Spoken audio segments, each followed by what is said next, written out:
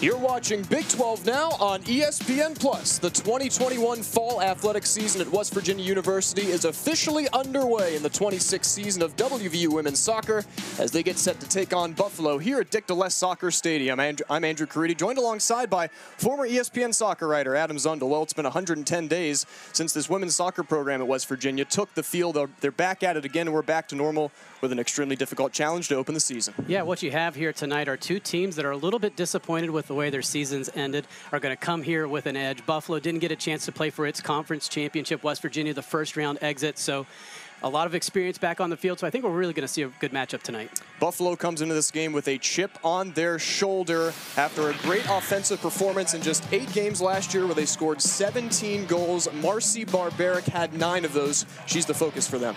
Yeah, she had nine goals last year. She was the MAC Offensive Player of the Year. She has 22 goals to her credit. What does Coach Burke says? She's never satisfied. So she has continued to work, continued to work on her finishing. So she is going to be a tough challenge for West Virginia tonight. Well, as always, defense wins championships. And for West Virginia, they have an extremely experienced back line. Jordan Brewster is A1 on that back group. Yeah, absolutely. More accolades for her. She was the Big 12 Defensive Player of the Year. She is somebody that just hates to lose. You watch her play, you can just see how competitive she is. So she is going to be the one leading that back line for the Mountaineers. Soccer is back in Morgantown as West Virginia takes on Buffalo here Dick Dlesk Soccer Stadium. Starting lineups and opening kickoff when we come back from Morgantown on Big 12 Now on ESPN+. Plus.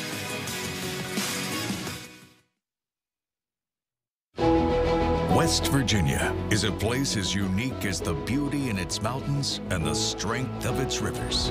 The peaks and valleys are what make us mountaineers. And as West Virginians, we value hard work, teamwork, and trust.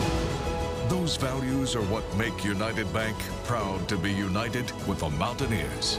Together, we'll climb to new heights.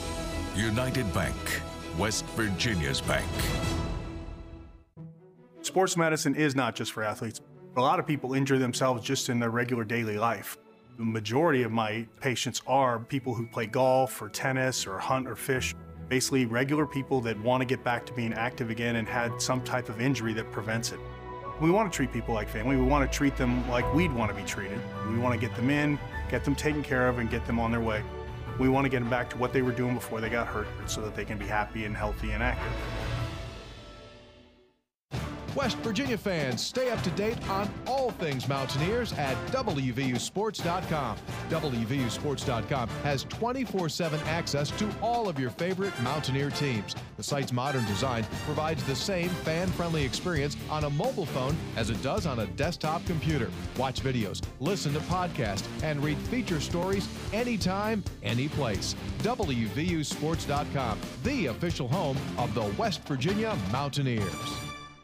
Another inside handoff. Leddie Brown piles into the end zone. It's over. Touchdown, Leddie Brown. Now the quarterback Howard's pursuit. They got him sacked. Dante Stills fires it down the field, and it is intercepted by West Virginia. Josh Chandler Semedo.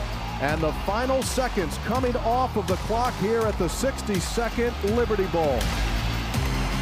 Get your season tickets now at WVUGame.com. we conquer mountains. But that's not why they call us mountaineers. It's because we don't let anything stand in our way. We build what's never been built. Seek cures for the incurable. And go first into undiscovered frontiers.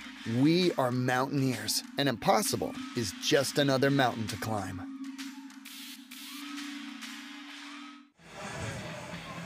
We are back in Morgantown as West Virginia getting set to take on the Bulls of Buffalo in the 2021 home opener. Here's the starting lineup for Buffalo. Their starting goalkeeper, Emily Kelly, has played every single game in her career so far. She's a senior.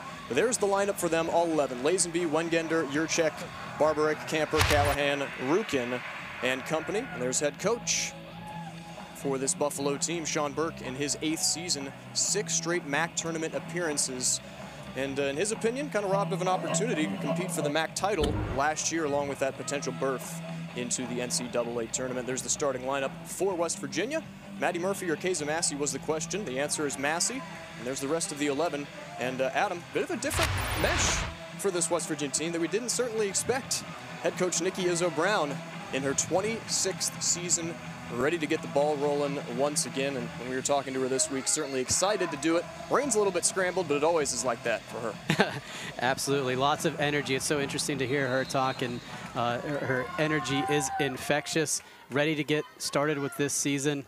Uh, you know, the short off season, everybody was anxious to play. Uh, Coach Burke was the same way, kind of enjoyed the, the short off season. Um, everything was so different last year in terms of your training and, and, uh, you know, playing and then taking the time off and kind of rebuilding uh, just was a different experience for everybody. But I know, I think grateful is, is, is a word people have used a lot, and I think in sports over the last 18 months. But I do still think there's a level uh, of gratitude to be able to come out and play and I know everybody's happy to be playing in August. And instead of this time last year, are we going to play? Are we not going to play? Um, and, and, so to have a season, you know, you've got to return to that level of gratitude. And I think that was definitely expressed, uh, you know, during the week when we were talking to the coaches. Buffalo in the electric blue uniforms, meanwhile, that host West Virginia in gold.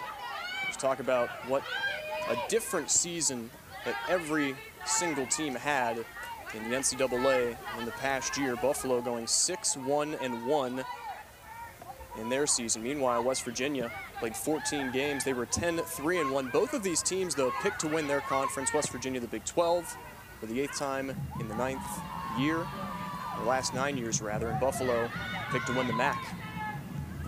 Yeah, tons of experience coming back uh, for both teams. We kind of talked about it a little bit in the open, and and just to expand a little bit on, on, the Buffalo situation last year, West Virginia fans of the men's program can maybe be a little bit sympathetic. Um, Buffalo 6-1 and 1 did not get a chance to advance to play, uh, to, to, did not get a chance to play for the conference title uh, due to winning percentage. Bowling Green was 5-1 and 0.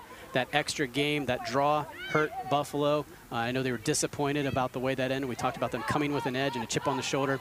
And, you know, that short offseason kind of plays into that a, a little bit. Um, but at some point, that's over. Uh, you know, you carry it, you try to motivate it, but at some point you got to deal with now. And I think the Buffalo, talking to them, I think they, they realize that. But if they can use that edge and, uh, you know, to their advantage here tonight, um, they're going to definitely do that. Lynch for West Virginia able to flip the field. Isabella Sibley, senior. Back heel from McCarthy. Sibley send it square, and that's easily cleared away by this Buffalo team, the back line for them. Just as experienced as West Virginia, you can certainly make the argument. 22 of the 24 players last year, and that's extremely successful, albeit cut short season, returning. And 10 of their 11 starters, with the exception of the freshman defender, Aaliyah Rukin from Toronto.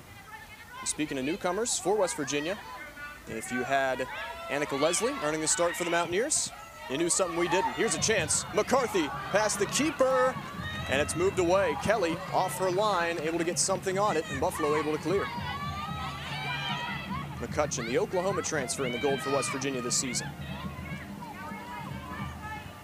Going back, that was a really good ball from Heredia Beltran through to McCarthy. I know coaches, Coach Izzo Brown is, is excited about the play of McCarthy back to full strength. She had some stops and starts last spring um, and also in the fall as well. So um, seeing her at full strength in the exhibition, she, she netted a pair of goals against Maryland. So her performance has uh, got Coach Izzo Brown excited. So uh, seeing Heredia Beltran contribute also, a couple of uh, younger, newer faces contributing right away here for West Virginia. There's Leslie heading it down for Brewster. And she'll escape away from Yurchak.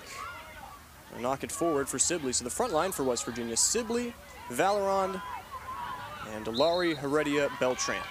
Different look, Alina Stahl unavailable for this game. And we'll see a second look on that early opportunity for Lily McCarthy. Uh, saw that ball come through perfectly played, just not able to, to touch it to that left foot and, and get it to, to put it on goal.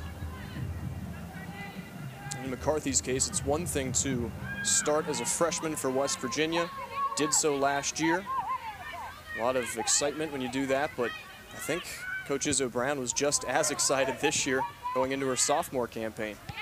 That really says something. Leslie back to Massey.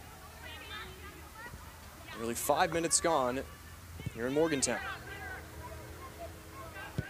It was interesting talking to Coach Burke about how to approach this game. He obviously has high expectations for this team uh, to, to, potentially make a run um, in the NCAA tournament and use this game as a measuring stick. And, and sometimes when you see teams coming in West Virginia, play West Virginia, they're going to defend. They're going to just sit and defend for 90 minutes. Um, and I think what he was indicating is he'd like to try and play, uh, but you got to pick your spots. When are we going to possess? Can we possess? That'll be the challenge.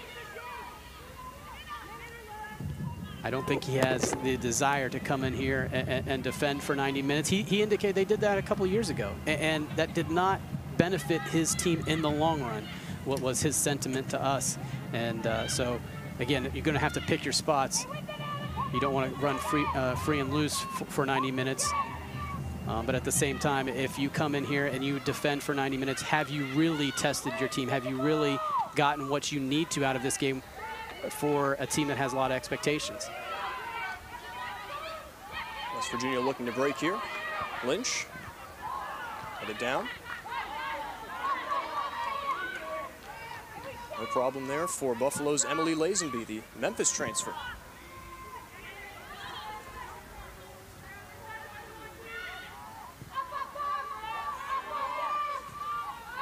You mentioned the last time these two teams played. West Virginia earning the victory all-time series is 2-0 for West Virginia. This is Leslie, partially dispossessed. Barberic, she's dangerous at the edge of the 18, and that'll roll to Massey. So potentially some jitters there for Annika Leslie, but when you have a player like Marcy Barberic on your back, just trying to make something happen here. What's your impression of Buffalo early on, Adam? Yeah, they, they're coming out in their uh, the, in a unique 3-2-4-1, uh, and they're going to stick with that until until the the game dictates that they can no longer do that. Um, but they're not going to play scared. I, I, see again. I think see a really smart team that, as coach indicated, they're going to pick their spots. And you know what he said about Barberic is that she's she's not afraid of the moment. She's not scared of the moment. And I think that you can say that very early here in the early going. Buffalo's not a, not scared of this moment that was the focus that Coach Burke wanted to see from his group. You know, he said in the past they might have had that awe factor when facing off against a team like West Virginia the tradition and success that they bring. Most recently in 2016, West Virginia won that first or last meeting 2-0 and with a veteran presence like Buffalo has this year, he thinks that they're equipped and they have the experience to give West Virginia a game. Absolutely. Come in here and compete. He wants to see if his team will still compete despite how the game transpires. Meaning West Virginia, if they score early, you know, not the worst thing in the world. It's so early on in the season, Adam, and compared to last year, you don't necessarily want to give away games, but there are so many silver linings that just weren't there last year. Yeah, you, you expect, and again, we hope that uh, this is a, this is a long season with a lot of games, but you expect to have some room for error um, that you can use this game and come and play. And, and, if you get a result, that's great. But if you learn, you can, if you get some experience that will help you win some games later on in the season, you'll take that. You'll maybe make that trade. Vallerand is going to leave it forward here for Sibley. And that's chased down in the end by Tess Ford, the senior, getting to it for Buffalo. And Sibley back after it. And it's going to be a corner for West Virginia after the tough collision near that flag. So First threatening corner kick opportunity for West Virginia. I mentioned so much experience for both of these teams. How about this? 140 plus games of experience for Buffalo on the back end. Meanwhile, for West Virginia, 161. That is 301 games played. So with all of that experience, what do you expect to see? Well, you expect to not see a lot of mistakes being made. You expect to see the defenders to communicate well and to play very clean. Um, and, and you, so it's going to take an exceptional effort to break down these teams and get a goal. Lynch to take. Cleared away by Buffalo. Here's Ongst. Trying to let one go. This will be booted down the field only as far as Brewster.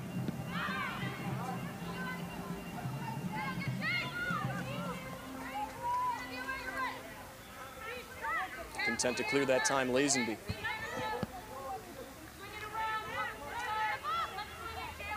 We did have Gabby Robinson factoring into that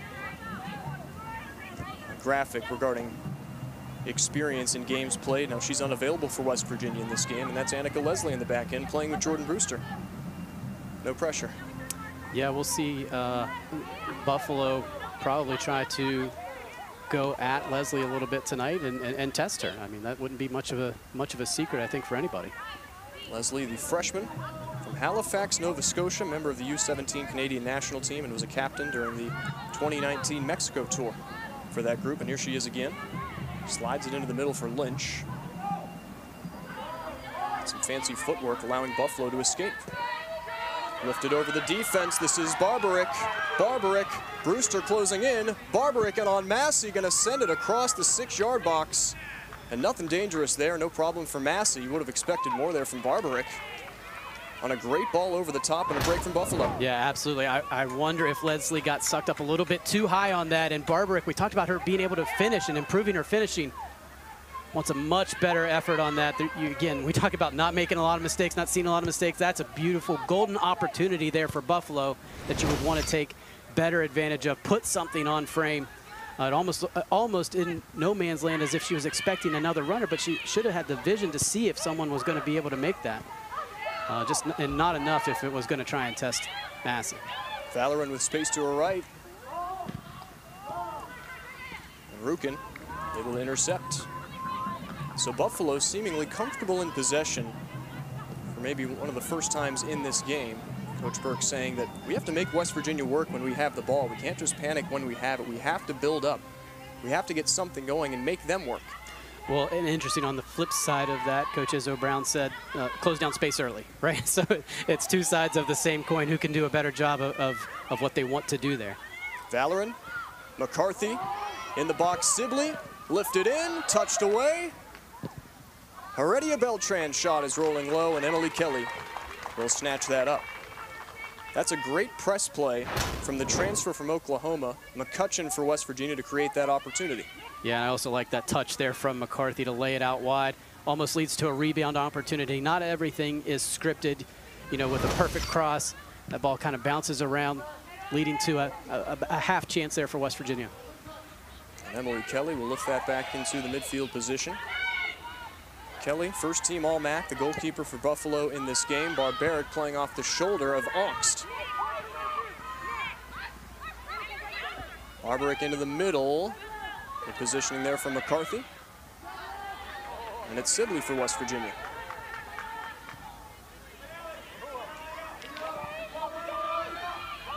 So nearly 15 minutes gone here in the season opener, also the home opener for West Virginia.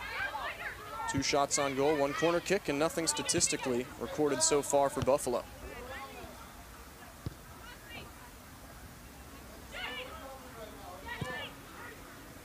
So Adam, all things considered, we went into the season and you say, all right, only player West Virginia lost was Stephanie Ferrer Van Ginkel. Yeah, she led your team, or co-led your team with six goals. Alina Stahl also had six, but nothing really isn't going to change right now. But the lineup that we're seeing right now, drastically different. Yeah, uh, yeah. Um, when you're at West Virginia, though, and we've said this year after year, there's a there's a level of expectation and a standard. And if you're going to crack the lineup, you obviously have a, a level of talent. Now, the experience is, is kind of the part there that you're going to miss. Um, and the growth that Stephanie Ferrer Van Ginkel had throughout her career was really remarkable, but it started somewhere. And so you're starting to see the start for some of these other players here. Um, uh, here tonight. Yurchak whistled on that foul against Brewster, allowing West Virginia to reset the play. Bit of a hold on the arm as the replay you just saw. Uh, Brewster with a, a, really bad giveaway there. Intended that pass for Nicole Payne on the far side of the field. 14 minutes gone. Mentioned Buffalo's success last season despite no postseason berth. West Virginia's strongest season opening opponent since 2018 in terms of winning percentage. And they open against number four Penn State, who won 18 games that year. And oh yeah, they'll play Virginia again. again. Coming up on Sunday. Yeah, we got a long way to go until then. You know, trust. I Ask any coach that you get. You know, you got a long way to go because this is a this is a handful here tonight. This is an absolute challenge, um, and, and, we're seeing that. But uh, you know, Coach Izzo Brown always goes and plays people.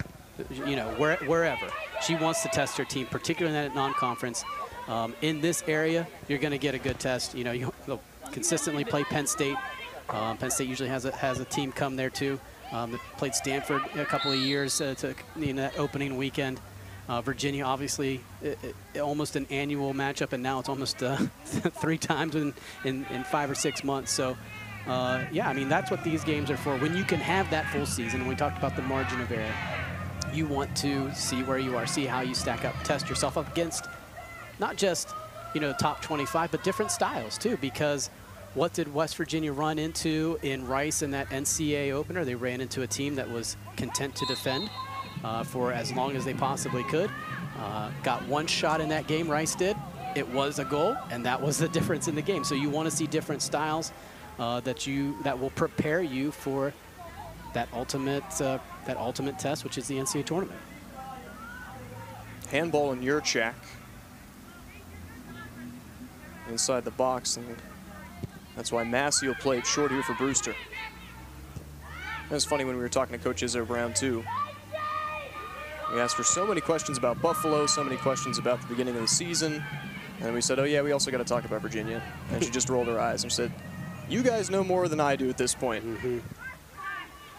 Yeah, I think she wanted to continue to talk about Wegmans and Buffalo Wings, that, uh, that uh, New York connection.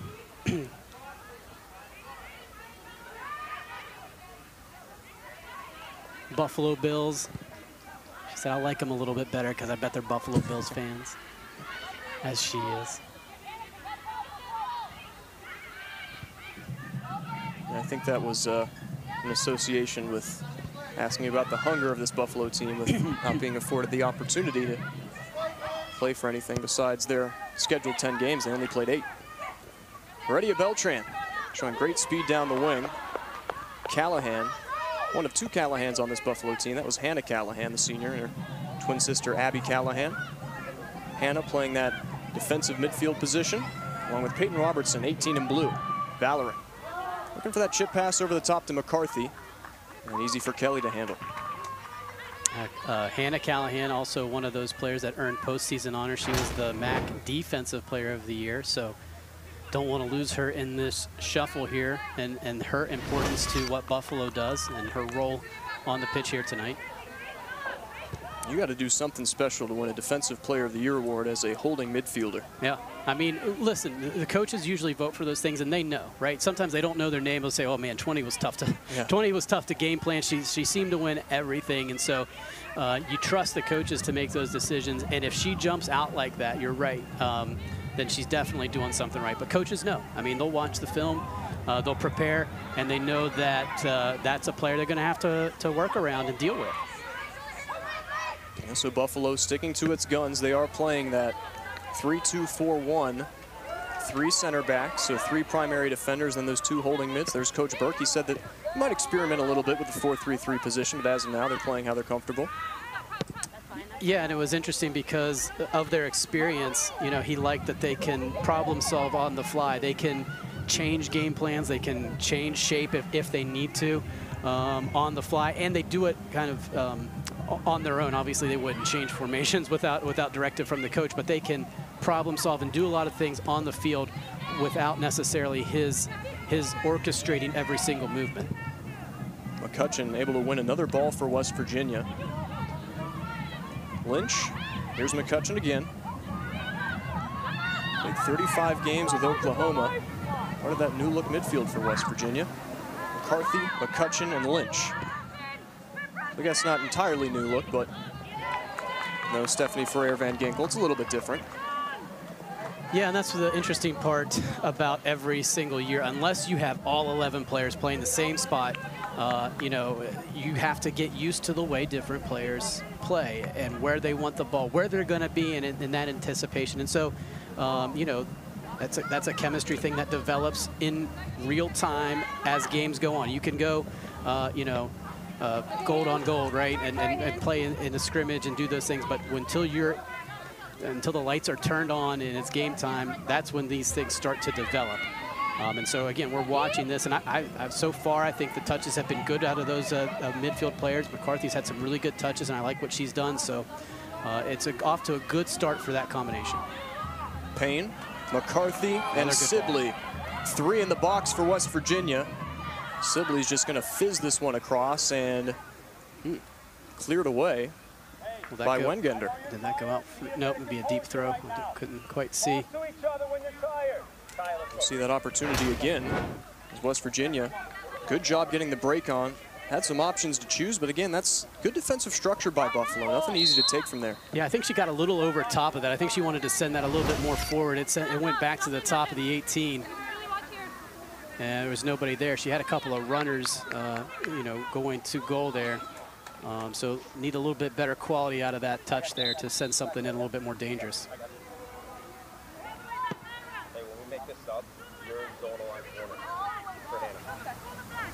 Just over 24 minutes left to play in half number one. No score yet between Buffalo and West Virginia, the season opener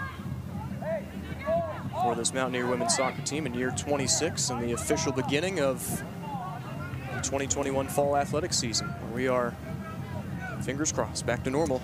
Yeah, exactly. Things have changed just like they did last year on, on an hourly basis. I know, I know a lot of uh, people in athletics are worried about the Delta variant as they as they should be, um, and vaccination rates. Um, trying to get those higher.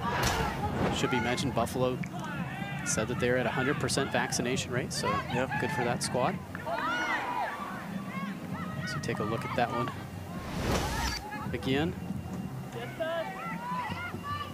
But uh, it's interesting because we do hear the band kind of playing yeah. in the background here in the, in the, parking lot, getting getting ready for, for their game days uh, coming up soon. So it does have that feel, and it doesn't feel like August right now. There's going to be there's a shot of the band there.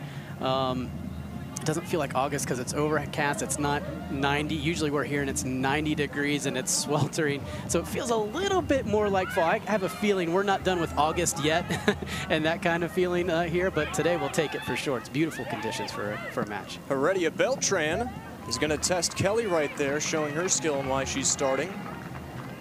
Floats into the midriff of Emily Kelly, but how about that from Heredia Beltran? Yeah, good touch there, creating her own space.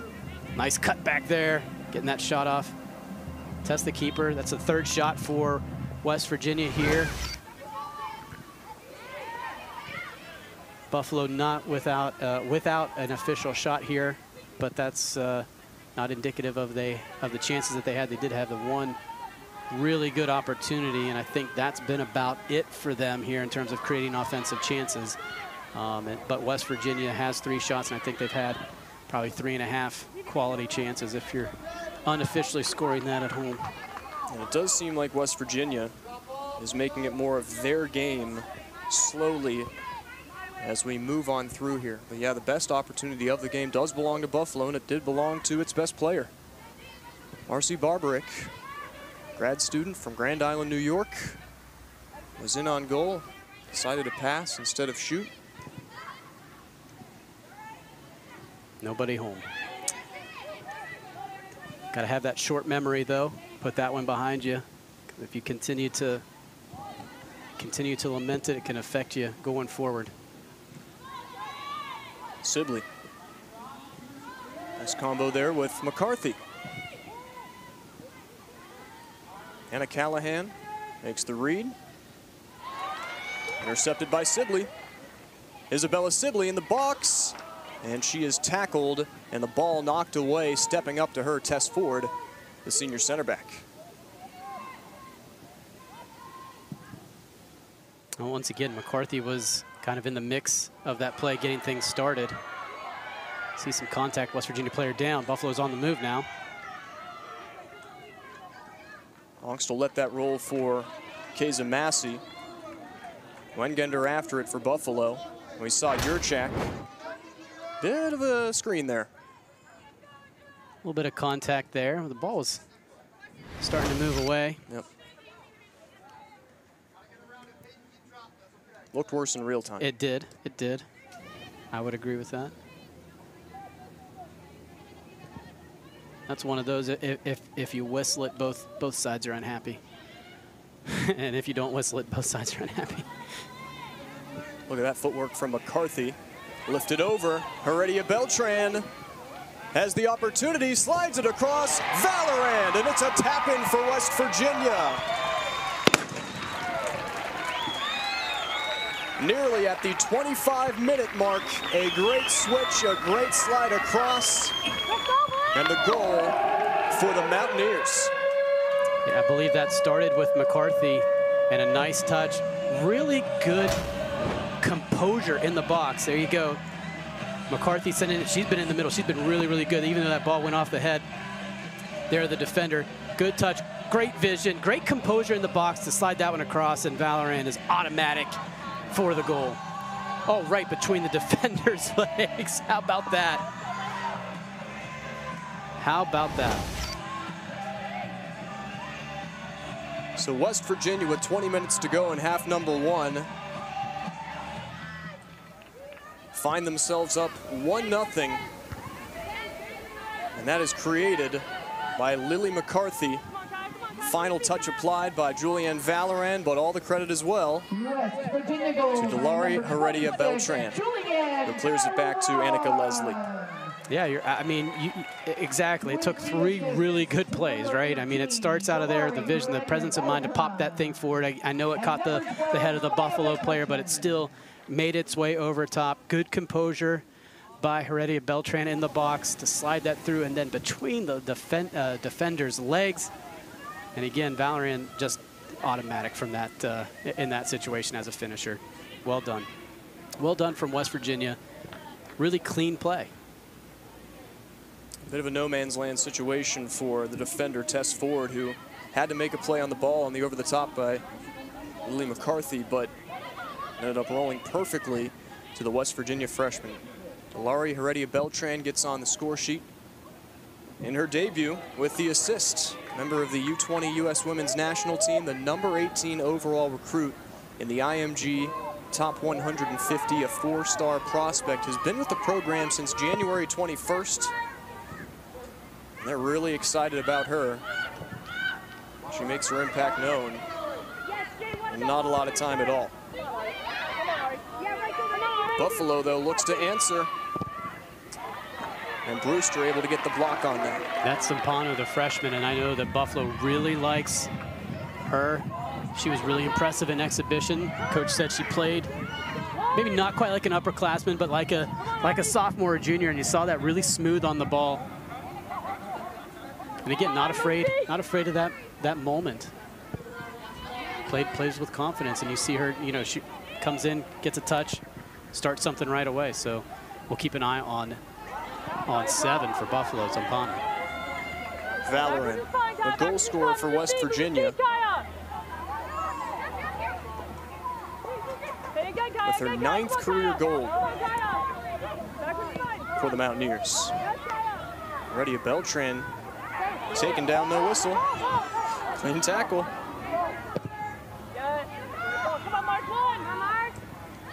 Was Kaya Schultz for the physical play. Lynch will leave it to Aunkst. Heredia Beltran once more. Vallerand short. Segala coming in back post, and that's over the top of her. So West Virginia making a couple of changes along with Buffalo. Warren Segala, the captains of this West Virginia team. It's Brewster, Segala, and Gray Smith. McCarthy, Vallerand. Heredia Beltran. McCarthy. Segala follow it to the end line. And it's a corner for West Virginia. So Heredia Beltran. Want to get something? A little bit of a miss there from McCarthy, but it ends up with Segala chasing it down and, and, and leading to that corner opportunity here for the Mountaineers, second of the evening.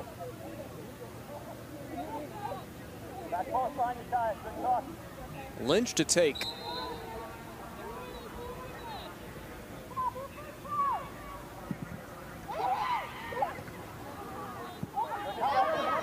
Beltran. Lifts it in. Vallerand. And it'll roll to Kelly.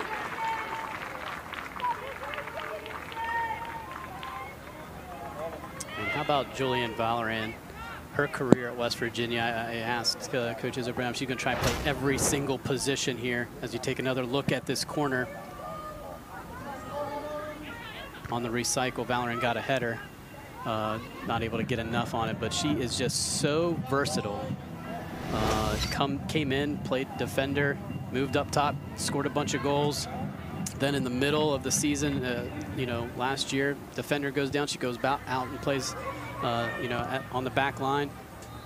But uh, she's so dynamic that it seems like obviously getting the goal here tonight that uh, you want her nice and dangerous up top and getting the getting the ball as much as possible. Yeah, when Coach Izzo Brown said, we're putting Vallerand at center forward for this game. Let's check another one of those positions off the box. Yeah, exactly. Exactly. I mean, you can put her in, you can you can literally put her anywhere. Is that a challenge? I mean, I think so. and during her career, she's Right. almost done it. Right. Uh, you say the same thing about uh, what's interesting uh, about uh, Barberic. She came in and, and played on the back line because that's where the team needed her, and then she's developed and, and, and is a all-conference player of the year, conference uh, uh, player. This is Aunkst, the fullback, slides it across, Segala! 2-0 West Virginia. And another tap in for the Mountaineers. How about the outside back, Mackenzie Aunkst, running all the way to the end line. And the captain, Segala, makes it two. Yeah, good job by Owens. Staying with it. Good feed there. Excellent job by Segala to beat the defender to the ball and knock it home. Between two defenders there for the score. And here's a great look at Aunkst on that end line. 2-0 West Virginia. Segala with her first. And again, credit, as you mentioned, Aunkst doing that work all the way from the left back spot to double West Virginia's lead. Goal comes in the 31st minute. And West Virginia, historically, they get two goals, and they almost never lose. 51 of their last 52 when scoring twice have resulted in a victory. So to get these two strikes early in the first half, good indication. Maya Ladani will touch it forward for McCarthy.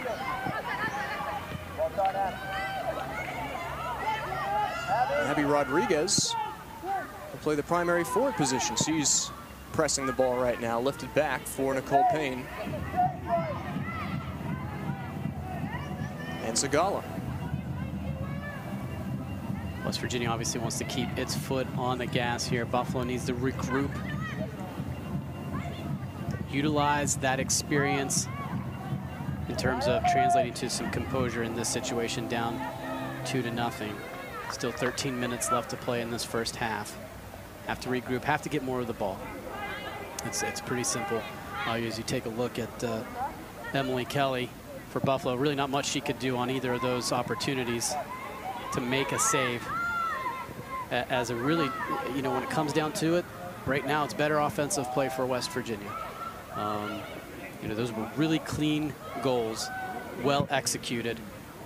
It wasn't some terrible mistake by any particular player. It's just outstanding offensive play. Another corner coming up for West Virginia here, off of the head of Lazenby. So West Virginia adding its second goal from Lauren Segala, created by Mackenzie Aunkst, 11th career goal for the redshirt senior Lauren Segala of Salisbury, Connecticut. All Big 12 second team member. Did not start in this game, but came on with fresh legs. Started all 14 games last season. Lynch on corner duty yet again.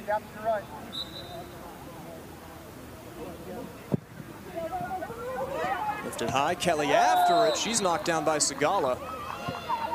It'll be Buffalo's possession. Gotta find moments. Keep it now. Final 10 minutes here for Buffalo. Really important to try and find their way into this match so that they can get to the break and regroup and try and figure out a, a way to either get on the board or if they can find one here in the last 10 minutes, build, build and continue that momentum. But right now it's, it's very much uphill for the Bulls.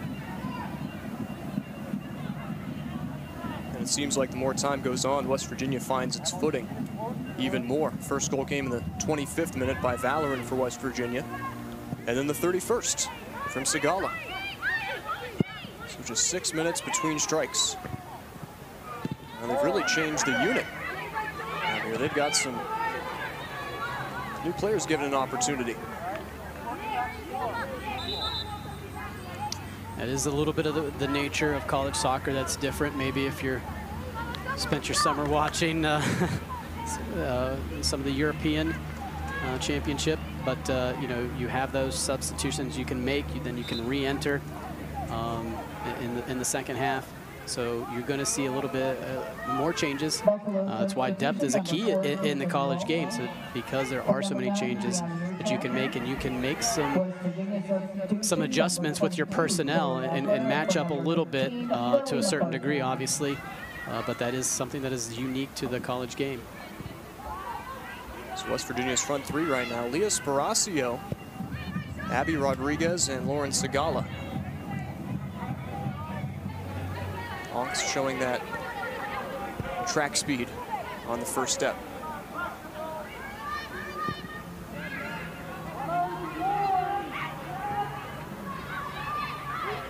Chloe Adler gave it away there. Hard in after it, Ladani and Sparacio. Buffalo has to do a better job holding the ball in the middle of the field there. Good fine from Sparacio. Segala with a misstep.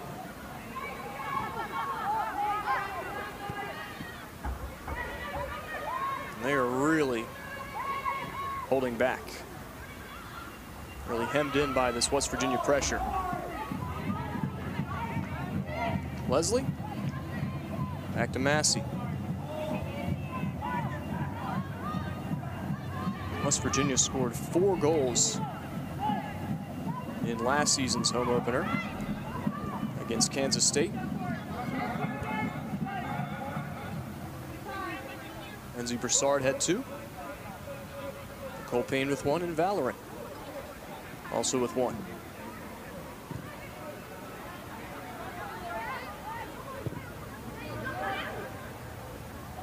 West Virginia able to really sit and pick where they want to get that ball. Then Buffalo steps up.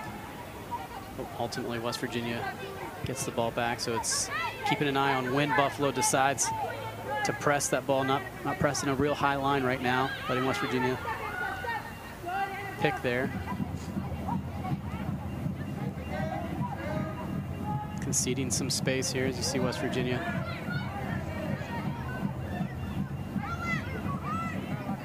Finding its spots.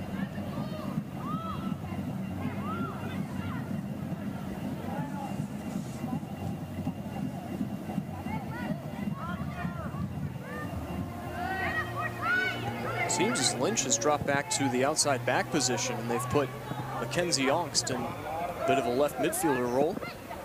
She's after it now. Buffalo, though, possesses. Uzani.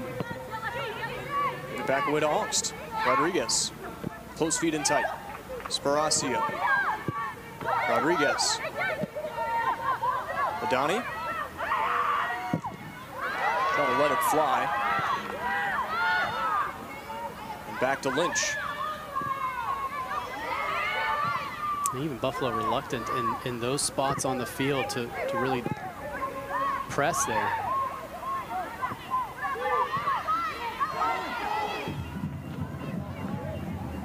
Robertson try to lift that over for Bazzani. Control the ball by Catherine Camper, but offside is Caitlin Walsh down that right wing. Just needed to hold on a little bit because there was going to be some space. Little, little anxious there. We've seen that so many times there in the history of West Virginia's opponents of just looking for that one big pass to try and free something up. We just saw there. When they run into the machine. It is West Virginia when operating at maximum efficiency. I think you talk to the West Virginia coaching staff, and they definitely don't see it that way, but when you're in control of a game like you are right now, you have the freedom to create a little bit. Get some things going out of your tool bag. And get a drastically different look like you have right now. And Ladani almost loses the shoe and the sock. I mean, the shoe, common. The sock? Yeah, all the way. Holy cow. that makes it pretty easy to spot, doesn't it? Yeah. That doesn't happen by accident, does it?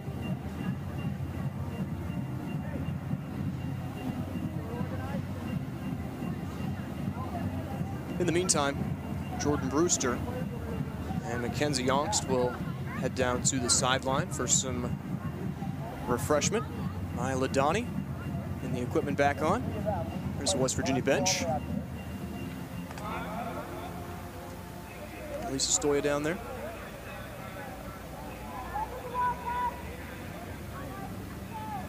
Ladani's back into it. So West Virginia striking first from Julianne Vallerand. It's 2-0 right now, but this made it 1-0. Playing in that center forward role. She had some opportunities, found herself in the game, gets rewarded. Yeah, we talked about how versatile she is, how active she is. She's all over the field. She makes things happen. She's so dynamic. And when you do that, good things are going to happen. You put yourself in a good spot, just like she did here, scoring that first goal on that beautiful ball and finishing. Heredia Beltran earning the assist. Goal coming in the 26th minute for West Virginia. Had another tally six minutes later with Lauren Segala's goal. So closing in on halftime here at Soccer Stadium. You know, Andrew, you talked about the creativity and, and, being able to play a little bit open. I think West Virginia has that luxury to go play, right? Just try to make something happen. Um, you might have some some game plans and, and, some things that you want to do, but but go play. Go break somebody down, find the open space, and just go play. Rodriguez. Hampered there by Ford. It's the nutmeg and keeps possession. Coach Izzo Brown told us specifically, you guys are going to enjoy what Abby Rodriguez is able to bring to the table.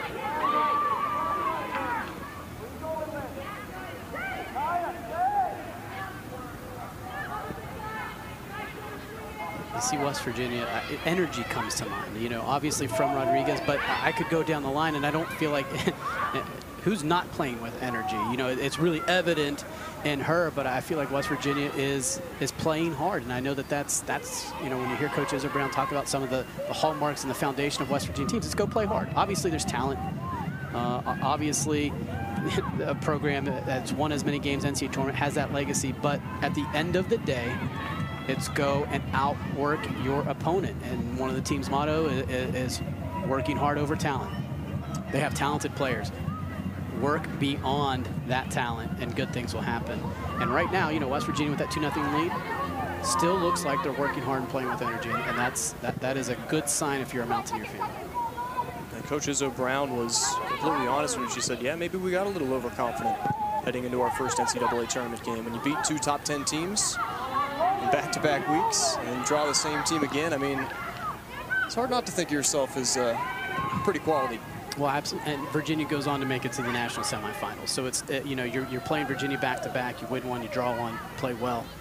You got to feel good about yourself, but it, it, that doesn't buy you a ticket. it, it, gets you a ticket into the NCAA tournament, then you have to do it.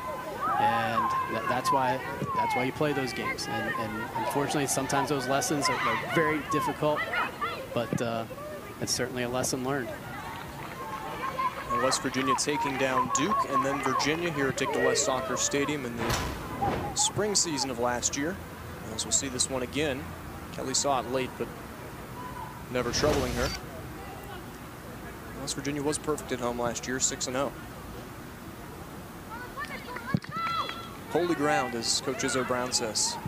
Yeah, it's good to see fans back at, at full capacity. We had limited spectators, I believe, there towards the uh, uh, end of the spring season.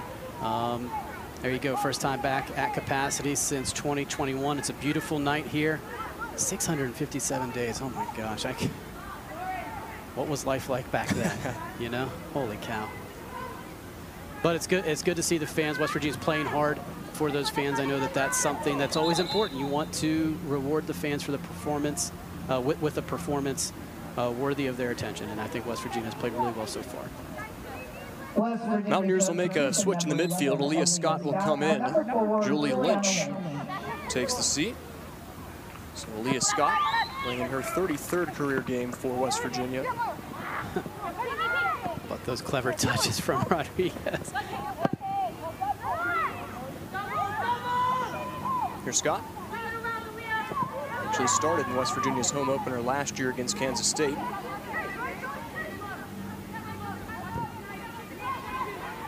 Now 90 seconds until halftime. All things considered, West Virginia certainly, in the most basic sense, has to be satisfied with its first half. Sparacio. Donnie. After it aggressively. Talk about energy. She might be uh, earning that gold medal in that category. Yeah, I mean, you know, just like I said with with Valerie and, and Rodriguez, it, you can go down the line right now um, with, with, who's not playing with energy, who's who's not, you know, kind of giving it giving it their all. And uh, I'd be hard pressed to, to name anybody that doesn't look like they are they are working, you know, trying to outwork their opponent. Under a minute to go here until halftime. West Virginia looking to add another. Aunkst, Rodriguez. It's a big defender in your way in Tess Ford. Well, everybody's big to Rodriguez. know the feeling, but uh, uh, no, real clever so far with, with the ball at her feet. Obviously wants to do a little bit better with that next touch. I don't think much would have been brewing on the end of that anyway, but uh, keep an eye on her, uh, what, what she's being able to create in, uh, for West Virginia. So West Virginia with two back-to-back -back goals in half number one. Julianne Vallerand and Lauren Segala on the 26th and the 31st. West Virginia will head into the locker room up 2-0 here against Buffalo in the home opener of the 26th season. You're watching Big 12 Now on ESPN+. Plus. West Virginia is a place as unique as the beauty in its mountains and the strength of its rivers. The peaks and valleys are what make us mountaineers. And as West Virginians, we value hard work, teamwork, and trust. Those values are what make United Bank proud to be united with the Mountaineers. Together, we'll climb to new heights. United Bank, West Virginia's bank. If you look at total joint replacement, it is one of the most successful surgeries ever done, as long as it's done right. Think about it like the alignment on your car. If your alignment on your car is off, your tires wear out faster. What robotics does is it takes your preoperative imaging and it makes sure when I put the implants in, they're exactly where I want them to be. If you have a joint problem in West Virginia, there's no reason that you go anywhere else but here. The air feels different on fall Saturdays in West Virginia. Familiar roads lead us on early morning drives to a place where we feel alive. And traditions bring together a fierce fan base, united by the same passion West Virginia football. As West Virginia's bank, we've been there and will continue to be there. United Bank, proud to be united with the Mountaineers.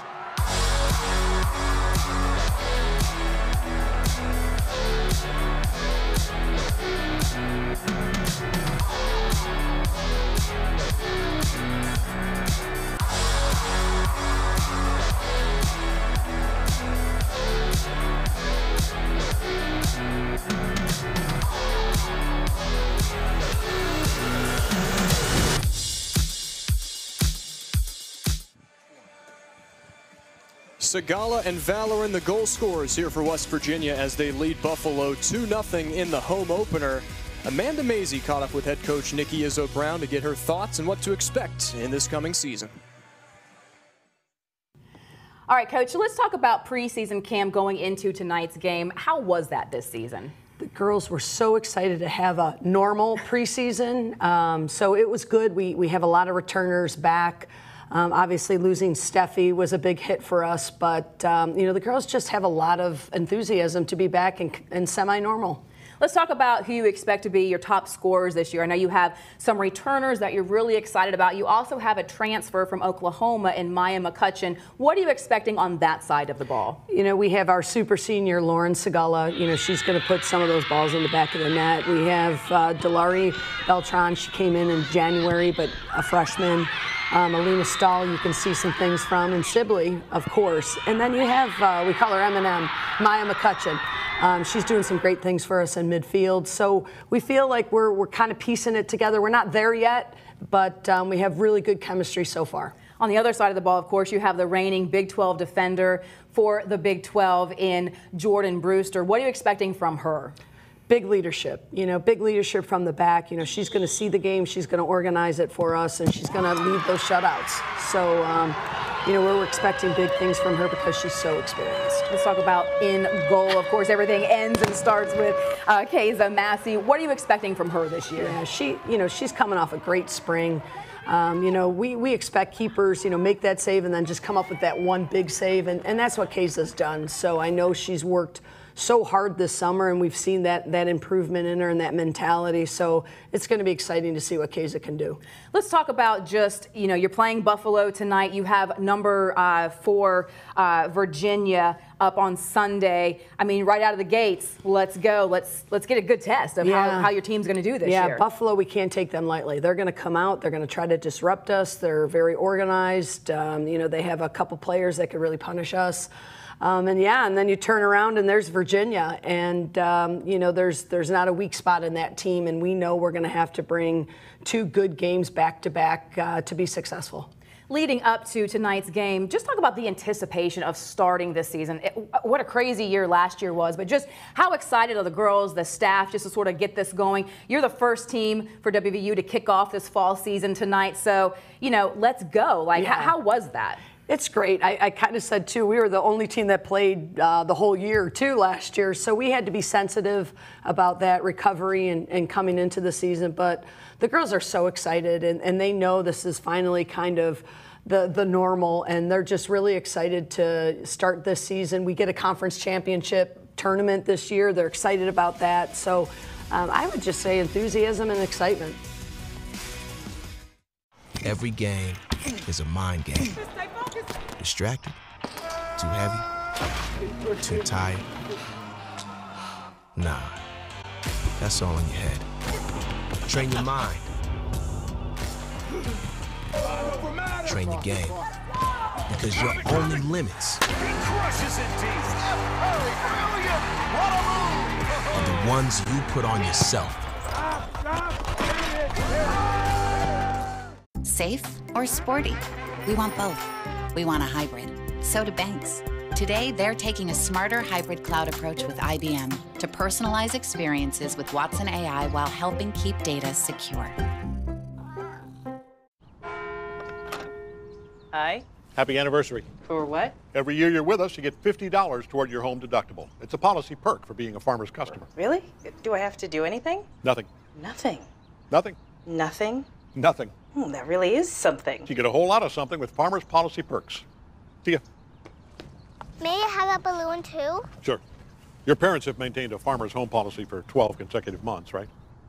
We are farmers. Bum, bum, bum, bum, bum, bum. At T Mobile for Business, unconventional thinking means we see things differently so you can focus on what matters most. Whether it's ensuring food arrives as fresh as when it departs, being first on the scene when every second counts, or teaching biology without a lab, we are the leader in 5G, number one in customer satisfaction, and a partner who includes 5G in every plan.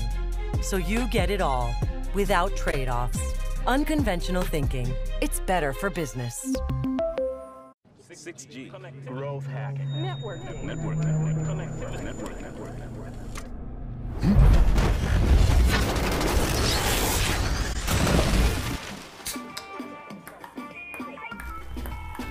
One evening, Let's go, Walter. The sun went down. After you. Jungle fire was burning. Down the track came Get a in. Said, boys, I'm not turning. I'm headed for a land that's far away. It's a multi-flex tailgate. It can be a step, It can even become a workspace.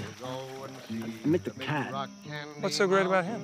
He didn't have a workspace. The Chevy Silverado with the available multi-flex tailgate. Find new adventures, find new roads. Chevrolet.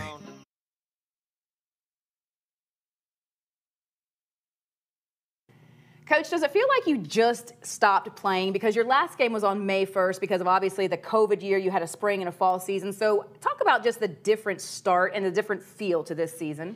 Yeah, it, was. We had to approach it different. The staff, myself, um, and you know, we wanted to make sure that the girls felt like there was a break and and now kind of a, a reboot and re-go and recharge. And you know, we took the team whitewater rafting. We're like, let's you know, let's do some fun things. Um, the Olympics were exciting. I think that was also kind of a break and. You know, we played into the Olympics, having two gold medalists. It couldn't have been any better than whitewater rafting, and then for our, our West Virginia family, and then two gold medalists, and Keisha and Ashley.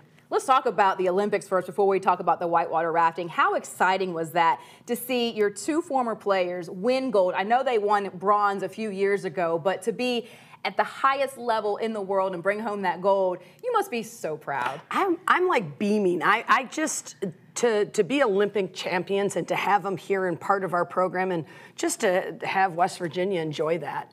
I mean, it was, it was awesome. And, you know, nobody sees what, what the suffering is behind the scenes. And both of them have worked so hard and have grinded it out. And for them to finally get that gold and be the best in the business, man, I'm telling you, ear to ear grinning. You're going to be able to see that gold medal. Soon? Man, I want to hold that. Yes, we're going to bring them. We're, we're going to make sure they get home and share that, share that experience. Let's talk about the whitewater rafting. You did that last week with your team. How important is that team bonding and building, especially as you're getting ready to start this season and you have the grind of the hard work and just to kind of say, hey, let's go have some fun. Yeah, and you know, with COVID, we really couldn't do a lot of social things, so it was really important.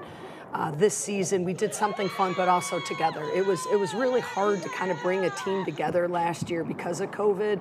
So i think the girls really had a good time and appreciation for it. And you know almost heaven west virginia it was just absolutely beautiful. We're so fortunate to have that type of situation you know right in our back pocket all right, well, spill the beans. Who has the best white water, white water rafting skills, and maybe who are you like? Oh, I thought they'd be a little better at this. I was the best, of course, because I'm the most experienced. um, I would say a little shaky going in would be Gabby Robinson, but she turned it around, and she'd be my wingman uh, going on the next one. How much do you think they appreciate just that time away from soccer? I, I think they really did, and, and life's about experiences, and I want to make sure that you know, 25 years from now, they can say, "Hey, remember when we went white water rafting?" And that's what it's about. So I'm glad we could find that time and make the time, but also uh, come together as a West Virginia family. And as a coach, when you're in the thick of the season, can you look back on experiences like that and say, yeah, you know, I'm so glad we did that because I can see how it's helped them throughout the season? Yeah, I mean, I, I think we can refer to moments and be like, look at, we got to just picture ourselves back on that river having fun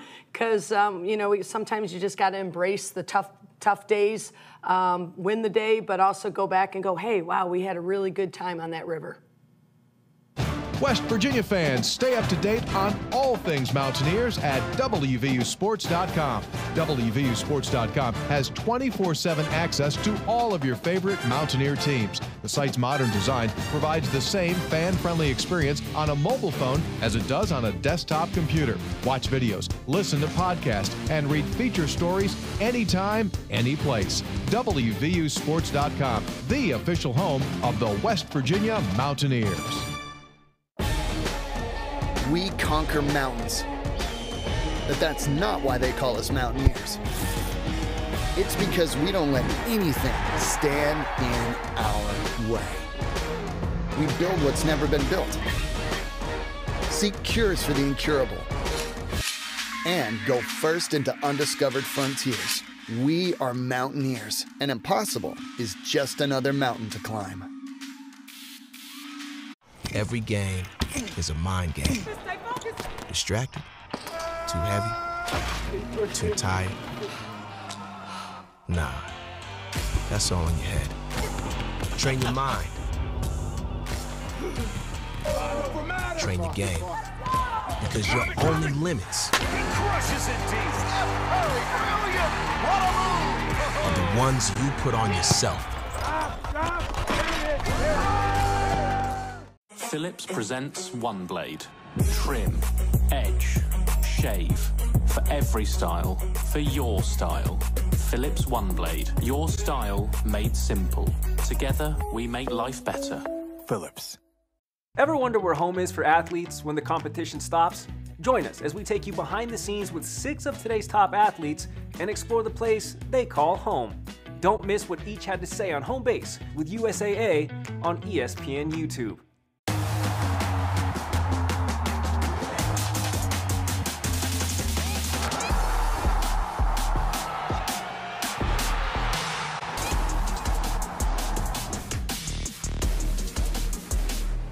You've Zoomed.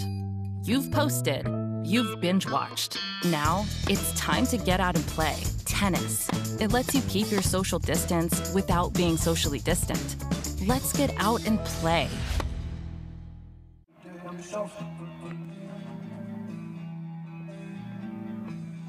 The score, West Virginia 2, Buffalo nil.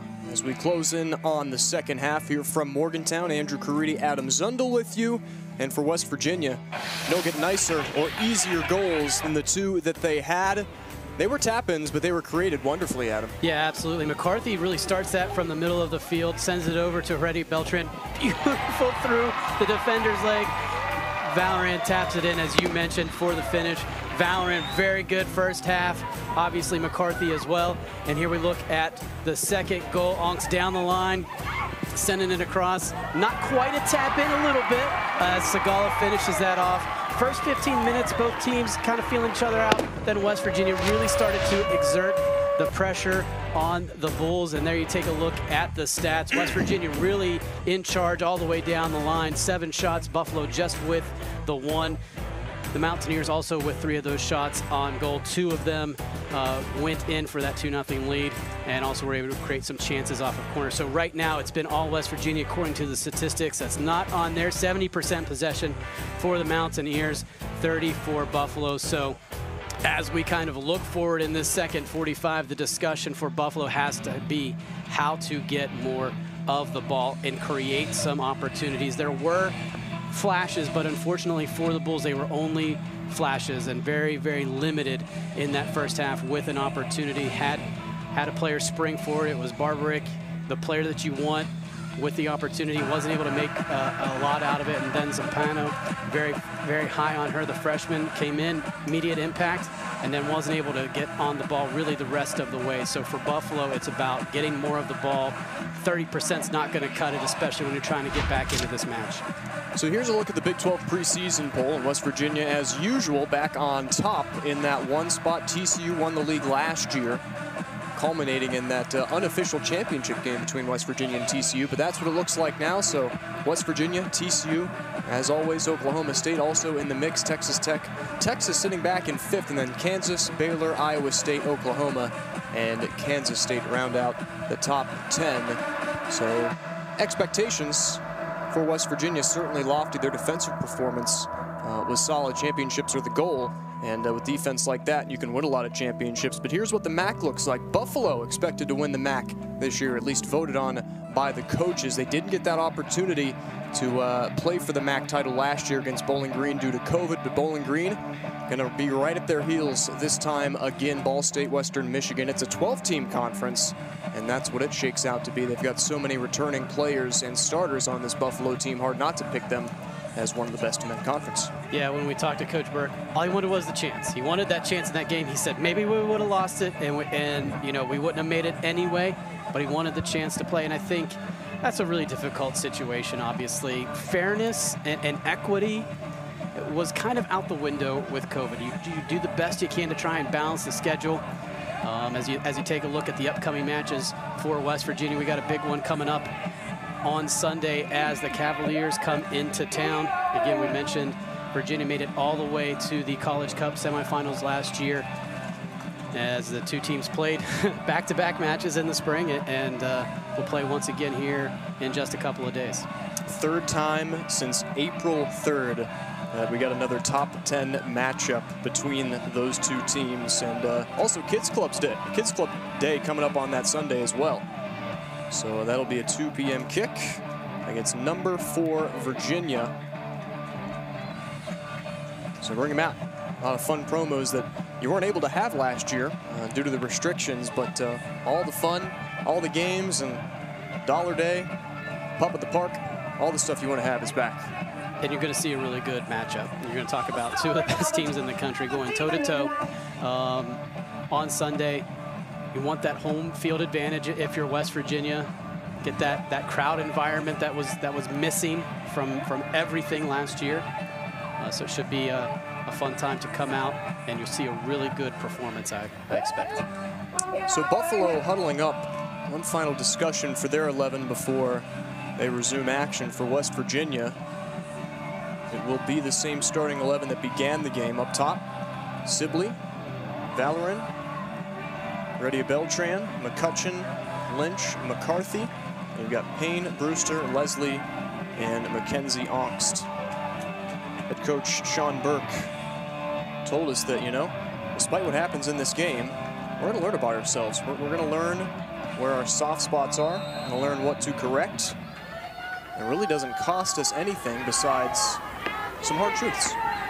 Yeah, absolutely. He said, you know, you come to you come to play West Virginia, and you're going to be exposed. You want to you want to limit those, and, and hopefully you don't get punished the way uh, that West Virginia has punished. But a team uh, the quality of West Virginia is going to punish you for the for those kinds of mistakes. And um, you know, right now West Virginia is playing really well in that first 45. The expectation of Coach Izzo Brown was to maintain is going to be to maintain that level.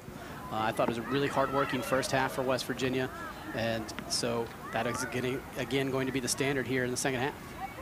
That being said, you find your soft spots and you find your weaknesses against teams that you play. Whereas in the Virginia game for West Virginia, they kind of know each other extremely well. So what can you glean from a third matchup in just a handful of months? And well, since it doesn't mean as much, Adam, sorry to interrupt, but do you try anything? Do you experiment? Even though it, it is this uh, going to be the lineups are going to be very similar it's it's still going to be a different season even though it is just months away and there might be slight changes in personnel there might be slight changes in rotation um, not just your your first 11 so uh, yeah and I think you play just like Buffalo's playing West Virginia to potentially be exposed West Virginia's going to play Virginia for that same for that same reason and try to see where to get better Payne was trying to find that incisive ball to Vallerand, who's playing off the shoulder of Hannah Callahan. It's going to go for a West Virginia corner off the last touch from Buffalo. So West Virginia with its fourth corner of the game. This time Brewster to take. Lynch took all of them in the first half.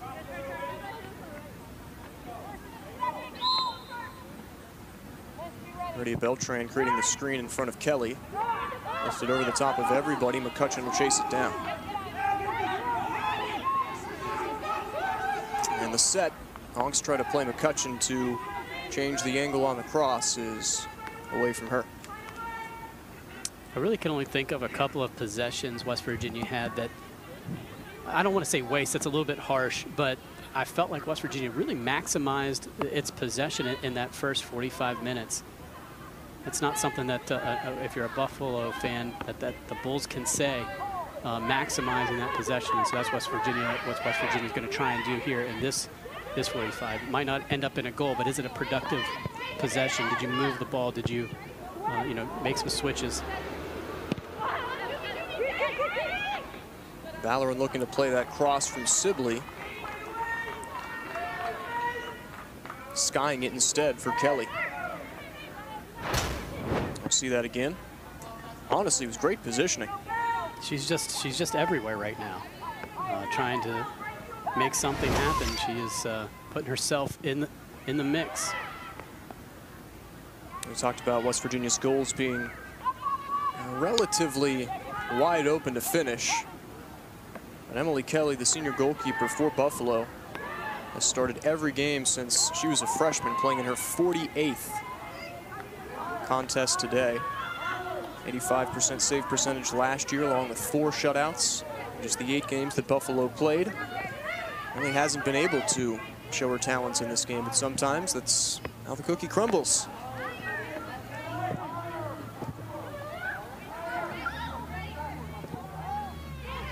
Yeah, when I, when I think about the goals that West Virginia scored, and I, and I, and I alluded to it in the first half, I felt like it was West Virginia execution. Uh, West Virginia is making better plays than Buffalo in those moments and winning those moments rather than, you know, total lapses or total breakdowns. Is, I think it's just West Virginia executing just percentages better, and, and it turns out into a, a, a pair of goals. This is Abby Callahan, twin of Hannah.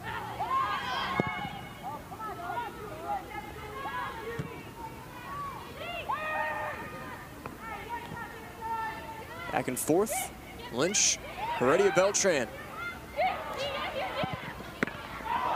And it's fought off by Emily Kelly at the near post. Taken with the left by Heredia Beltran after another nice chop to the outside and another West Virginia corner.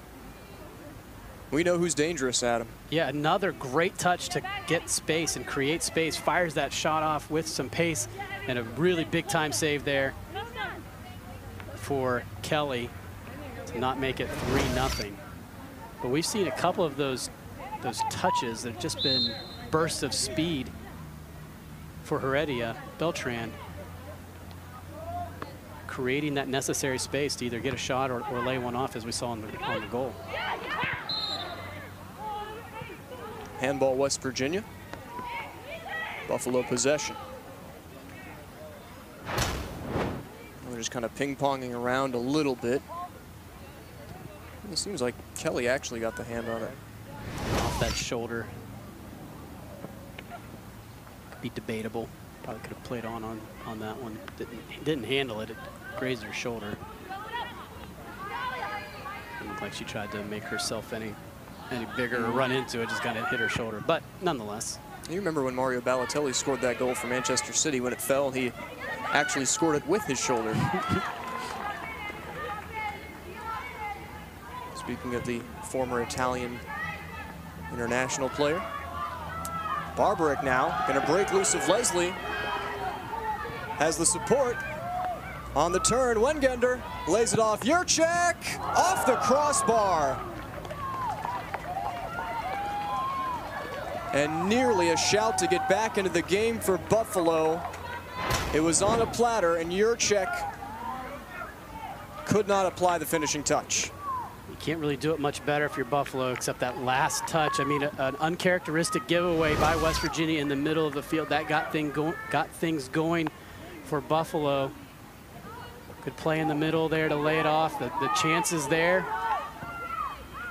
And, and, and Massey's presence you know, maybe affects that shot, but off the crossbar. Again, your chances have been few and far between. It could ultimately change the complexion of this match if you're able to convert that. But for, for Buffalo, it's another another really good opportunity that, that goes by the wayside. McCutcheon leads the charge. Central from Heredia Beltran. McCutcheon again. McCutcheon in the area. Gonna lift it over the keeper and score. Welcome to the club, Maya McCutcheon. In her first game, she gets her first goal in gold and blue. And it's 3-0 West Virginia. Great patience over the top of the keeper. What, how about a deft touch again from Vallerand to really kind of uh, control that ball, get it to McCutcheon. Great finish. Oh, Perfectly man. placed. Oh, man, it does not get better than that. And we heard Coach Izzo Brown talking with Amanda Mazey in the halftime segment. You know, she threw McCutcheon in that offensive goal scoring category, which maybe raised an eyebrow or two, but now we know. Maya McCutcheon in the 53rd minute makes it 3-0 Mountaineers. The Oklahoma transfer. Part of the all Big 12 freshman team in 2019. Had three goals that year.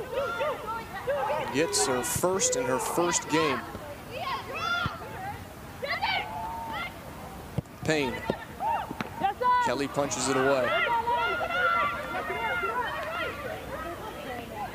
And that comes off of the opportunity That's just what I was. That's just what I was going to say. It's got to be so deflating to have that opportunity hit the crossbar, and then pretty much the next possession for West Virginia, it, it turns into a goal, and it just, you know, you, you get to three nothing in, in a bunch of different ways, right? And, and you can feel differently about that scoreline, but those plays consecutively.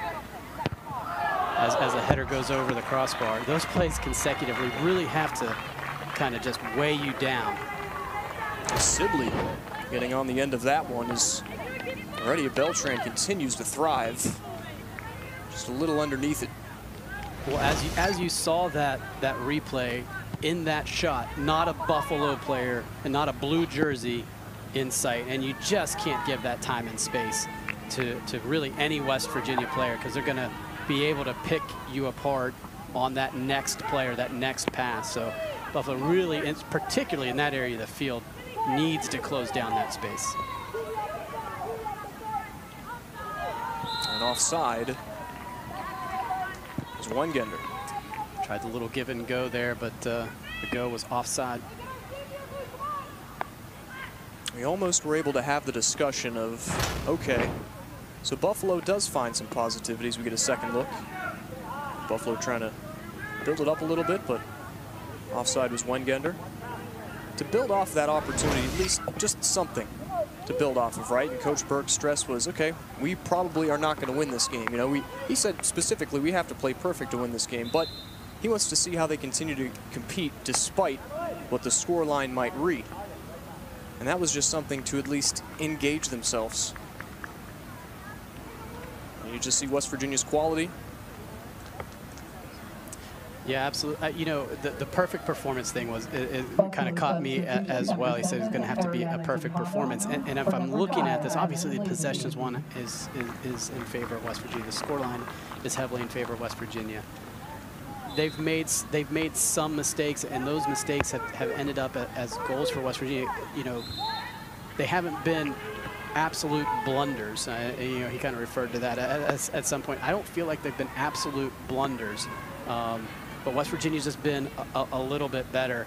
Um, so it hasn't been a, it hasn't been the perfect performance that he'd hoped for. And on top of that, I feel like West Virginia's played really, really well and executed to lead to this 3-0 scoreline. There's Coach Burke in his eighth season.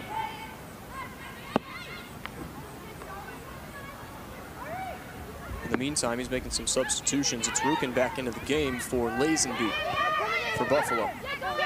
Sibley played by Payne, who's in a more advanced position in the second half. Sibley lifts one in nicely. Vallerand it's on the end of it off a couple of bodies, but Kelly will have it bounce to her.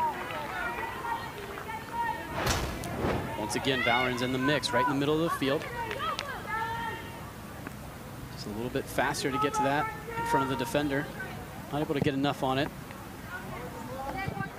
But that work rate, you know what you're going to get with Julian Vallerand. Zampano gave it away. This is Payne through a couple. Ford looking for the exit pass. McCarthy snuffs that out. I was going to say, Nicole Payne really didn't have a chance to get forward in that first half, but here she is playing almost at a wing position. Brewster driven into the feet of McCarthy.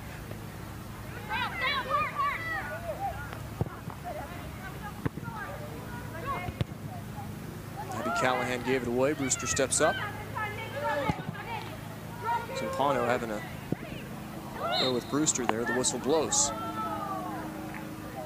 West Virginia has basically everybody still forward. So you'll see some overlapping and some combinations from, as you mentioned, the backs getting getting involved. Uh, West Virginia still attacking and sending numbers forward.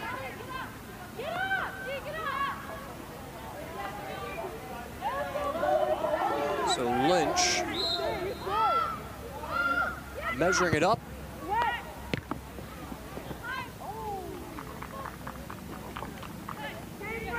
More lift on that one required.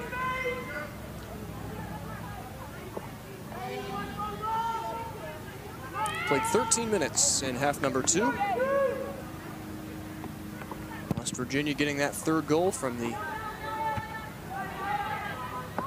if you want to call it, Maya McCutcheon in the 53rd. Certainly well placed.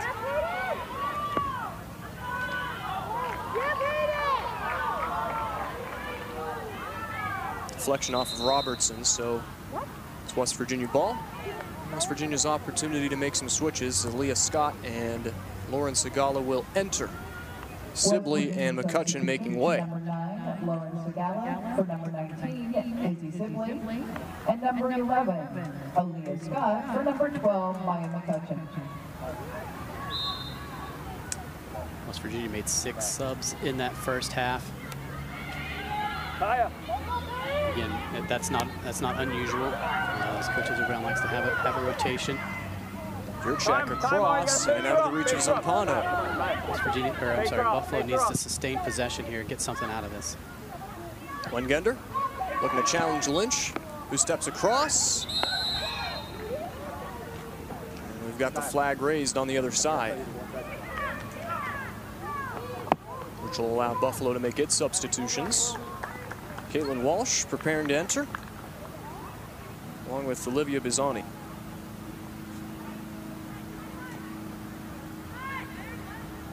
you see Massey without a save here.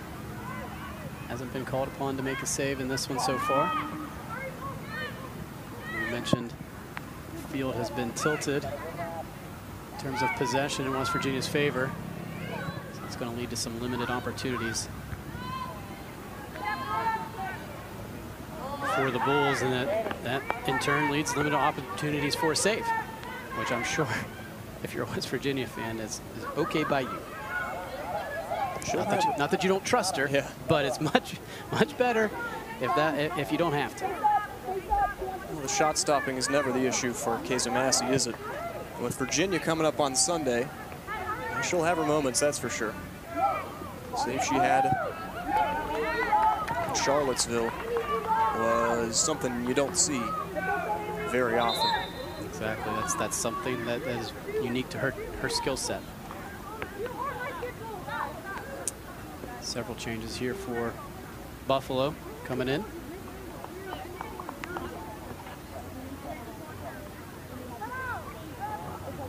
West Virginia substitution number 23. Buffalo had made five subs in the first half. Similar similar substitution pattern for both teams in the in the first 45, but uh, looks like Buffalo added a few more numbers on that last sub. Abby Rodriguez back into the game. In the meantime, Be the first corner here for Buffalo. Trying to manufacture here something here on the set opportunity. Bizzani to take. Floating near post. Massey and Brewster to combine and punch it out of there. It was four getting the last piece of it. And deflection on that shot allows Massey to field it cleanly. And snuff out that opportunity. McCarthy from Rodriguez.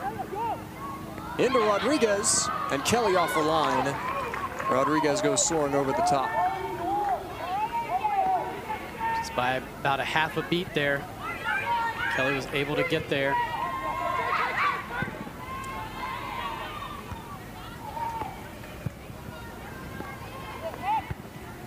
Zampano surrounded, but it touches off a West Virginia player last.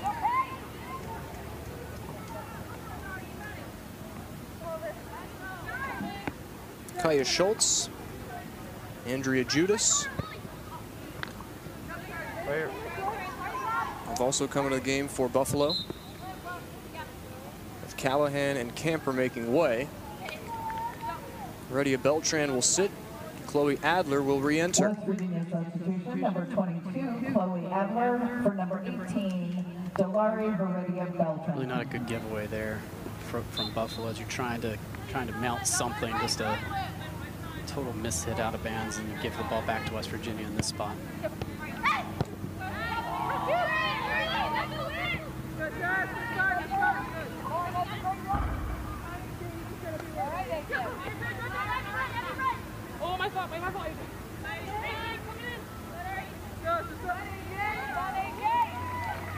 Gets the call, corner for West Virginia.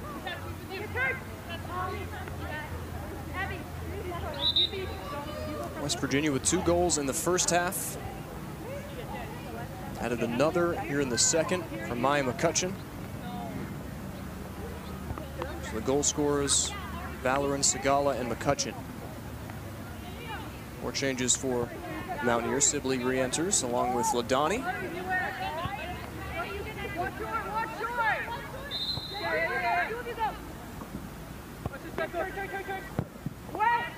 From Brewster.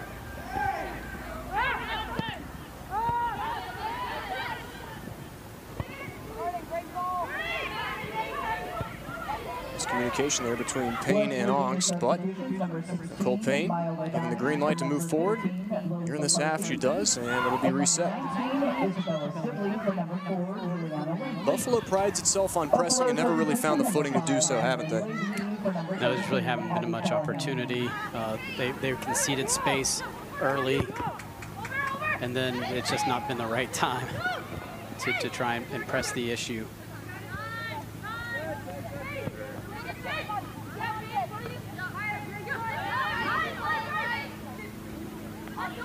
Yeah, hard to press West Virginia when any top-level team that you play against, including West Virginia, make a twist to the hips and a flick of the foot and completely change the feel or change the avenue of attack. Well, when we talk about, you know, quite honestly, the lack of opportunities for Buffalo means the ball hasn't been in that end.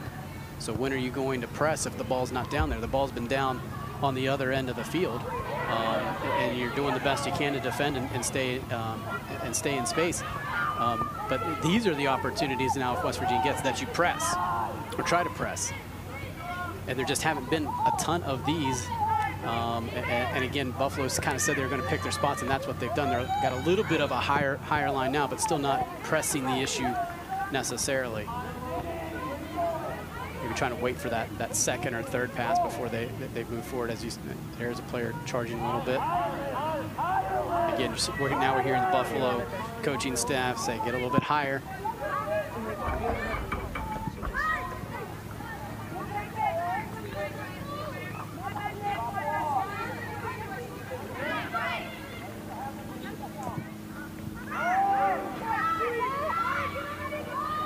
Touches there for Buffalo. I think she's got to get that off her foot, get that to the other side of the field. West Virginia's got too much speed and is able to close down that space have to play a little bit quicker, and that's something that West Virginia's going to make you do. Play a little bit quicker than you want to. Sibley with time there just gave it away. Barberic to re-enter along with Leah Wengender for Buffalo, Zampano and Yurchak. Alexa. Buffalo substitutions, number 11, Marcy Barberic, for number 9, Gianna Yurchak. Barberic was threatening eight, in the first couple minutes of the game. And I was salivating at the matchup against the freshman for West Virginia, Annika Leslie. A couple opportunities, but hasn't played much of the second half. But now, I mean, she's got fresh legs, so keep an eye out for 11 in blue. For something. Nine goals last year in eight games. Ladani into the path of Adler. Back square, bouncing around off of Ladani, and it should be a goal kick for Buffalo. How about those combinations through the middle of the field to spring it out wide and create something to get another look at this final touch there. But really good quick touches, quick play there for West Virginia. Putting the Mountaineers in another dangerous spot, not able to get a shot on that opportunity.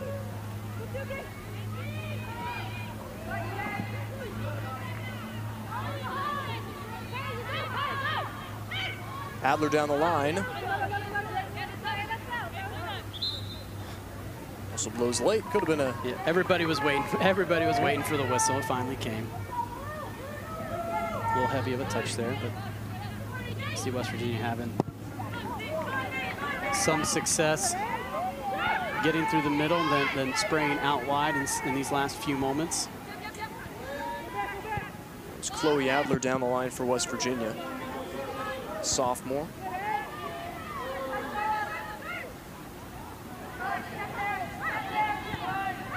Adani, Rodriguez combining. It's a good step from Kaya. Schultz for Buffalo. But immediately West Virginia, as always, winning that ball back. Segala. Cleared away. Ladani wanted to have it. Tapped in. Was she onside? No, flag was up. That was Adler applying the finishing touch. Could have manifested out of nothing, but just a little bit more situational awareness. And you know what? What do you think? That was. Let's watch this ball as as, as it comes in. Oh, she. Oh, that is, that's close. I mean, I'm going to always defer Yep, to the person yep, with, yep, with the, the sight actually down the line, but that definitely was close. Of, course, of, of course, every defender puts their hand up like, well, of course she's offside, right? So you can't really take their word. Right. Well, well, yeah, she's offside, but it was it was certainly close on that last that last bit. Second opportunity coming from Segala that time. West Virginia really able to pick its passes out. Crosses in. So this is a three-goal West Virginia performance without your co-leader in goals from last season, Alina Stahl, in the mix. Yeah, I would say that's a pretty encouraging sign, and I think West Virginia's been really dynamic on the attack. I mean, it's been a bunch of different players, and, and not just, again, not just the first 11. Here we are with some substitutes in the game that are really dangerous and dynamic and uh, creating a lot of opportunities, and that's got to be very, very encouraging.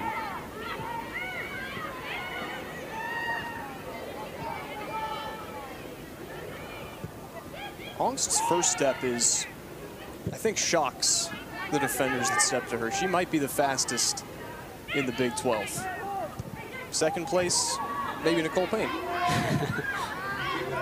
you know, when we asked about, you know, some players that have made strides over year over year over year, that's who coaches Izzo Brown pinpointed as somebody, you know, when we look back about Stephanie Ferrer Van Ginkel, her performance as, a, as in her final year was a little bit, it was, was much better. We have a, also have a change in goalkeeper here just to make note of.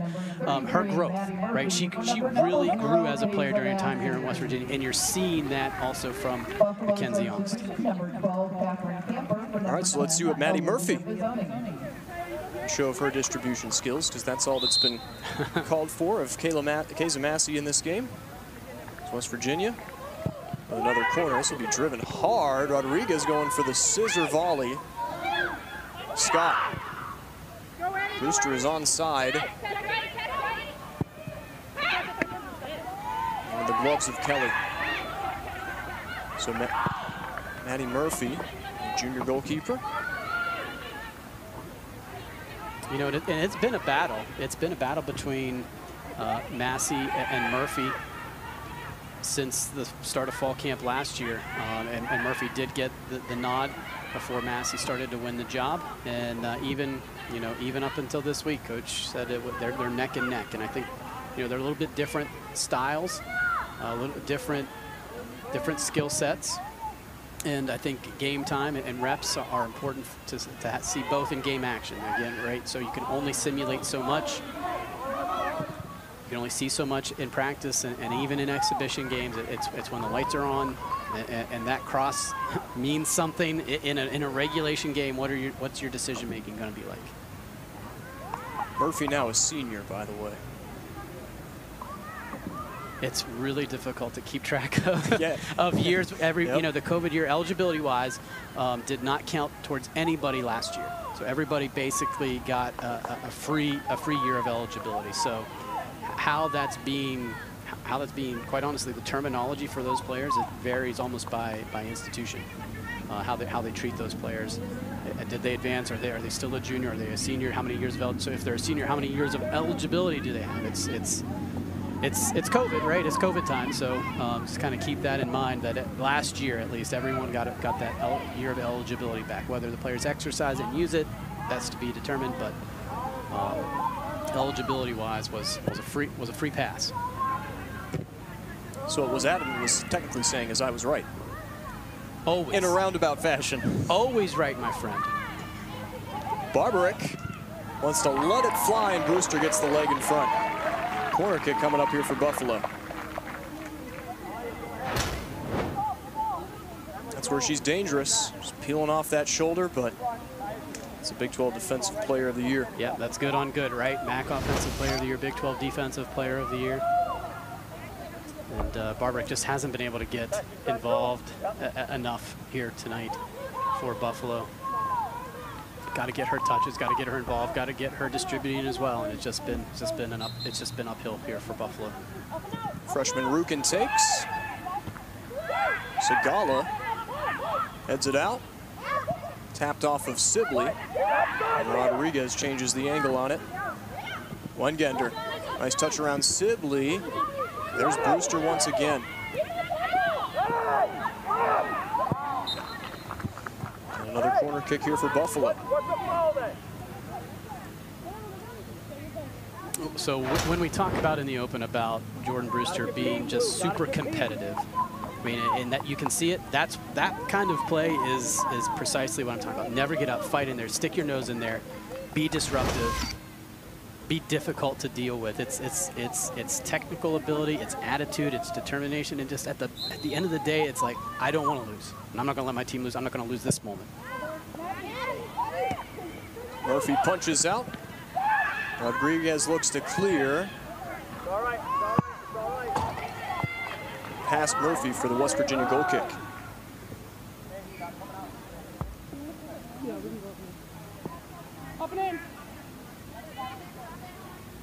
Maddie Murphy spending 2018-19 with Boston College. Played a handful of games with them and actually started the first four games of last season when she transferred to West Virginia. Had a shutout against Iowa State. Scored on four times from Grafton, Massachusetts. Now a senior, Kayza Massey, the junior. For number 19, Isabella Sibley. Virginia changes as McCutcheon comes back into the game for Sibley and Sparacio re-enters for Segala. And to continue the conversation about Jordan Brewster is it's rare that you actually have to see her win so many one-on-ones in her defensive area because usually she's playing with Gabby Robinson and that combination is extremely strong but obviously Annika Leslie who's getting the start at center back for West Virginia in this game doesn't quite have the polish or experience that Robinson does. So you're able to see Brewster on display uh, in the more blatant um, examples. Yeah, I think there's a level of responsibility out there when you're when you're playing with a teammate that's kind of gotten thrust in that that situation. Going to leave her out to out to dry. You're going to shade maybe towards her a little bit and try to protect. And uh, again, it's controlling the moment. You know, that ball's over there. I'm going to get it. I'm going to win it. Don't worry. I got it. You know.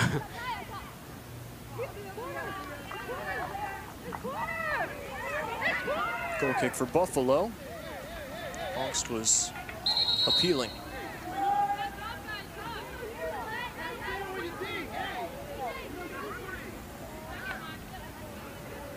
So making her case down the touchline. Abby Rodriguez. It's a more stern look than usual from our official Jorge Ramirez. Let's see it again. And yeah.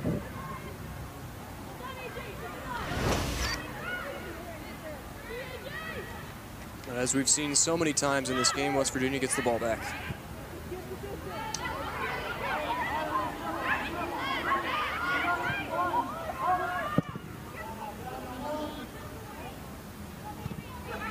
Touchdown from Ladani. Has Rodriguez forward.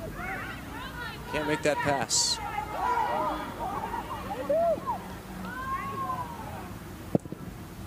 Barberic was just trying to hold to stay on side. The, the idea was there. Buffalo was sniffing a counter there and just couldn't quite get that touch in time to spring forward. There it's timed, but offside. Just barely. Fooled me. You can do so much with so little with positioning. Yeah, and Brewster was watching it right in front of her, so she was able to to get herself. Uh, she she knew that that was going to be an offside spot, so it's a savvy play. Sparacio after this one, off the free kick from Brewster. This will stay in the line. Sparacio unable to handle though. Great speed from Sparacio, the freshman, and strength and size. Wasn't really mentioned, but seems like that's another West Virginia forward with an extremely high ceiling, Adam, something that Coach Izzo Brown brought up herself, actually, in our conversation. Here's Barberic, chased down by McCutcheon. Brewster has the angle. She'll drop it back and lift it over the bar. By the Buffalo forward, Catherine Camper. Not much she could do with that. No, and again, it's, it's that sense of urgency. Uh, if you're Buffalo, you feel like that's going to be your only chance, and that's going to be your best chance rather than trying to have some composure, maybe to play for something else, maybe something inside the box, kind of settling for it because you feel like that's going to, going to be as good as it gets.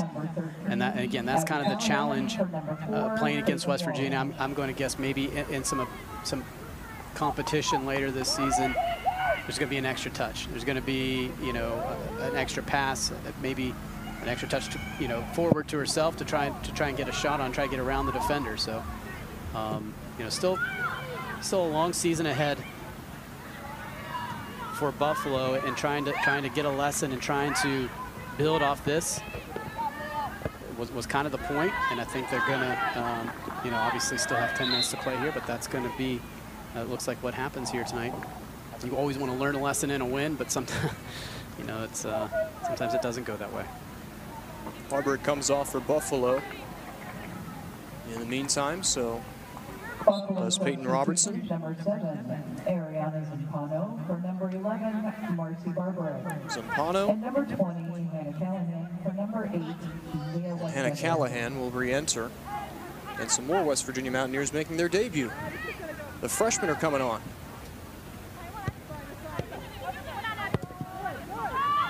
We've got Rhea Kayoski in that center forward position, as well as Brooke Brown, who slotted into that left back role.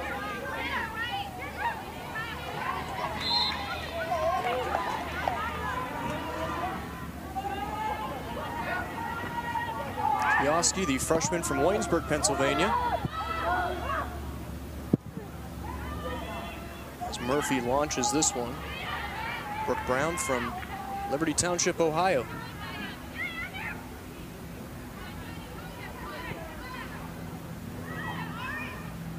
That was a good ball out of the back there from Murphy, just not able to be completely controlled after it was brought down, possessed for, for a bit, but good out of the back, especially under a little bit of pressure. Only four players right now on the field for West Virginia who started originally. It's McCutcheon, Brewster, Leslie, and Payne. You know, one of the things that was we saw last year when you're playing once a week, you're not necessarily concerned with your load on minutes uh, because you have a full week to recover. Now we're back to the normal college soccer grind where it's multiple games in a week. And if you can spare a few minutes for, for some players, then, uh, th then you're going to go ahead and try and take advantage of that. I don't think that's ever going to be the plan because, you know, we're, you know, we hope, you, maybe you hope it, but you don't ever explicitly go into that because this, you know, I really felt like this could go either way here um, today. West Virginia's played really, really well. Um, but you, again, you kind of hope that if you have a lead, you're feeling good about, you're feeling good about it, that maybe we can rest some players, save, save a few minutes, especially with Virginia coming into town.